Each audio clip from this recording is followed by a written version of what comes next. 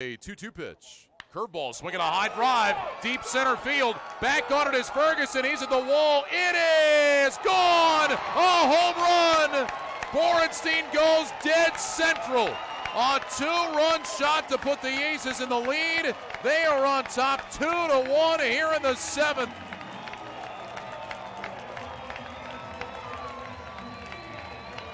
After all of that, Zach Borenstein hits it out.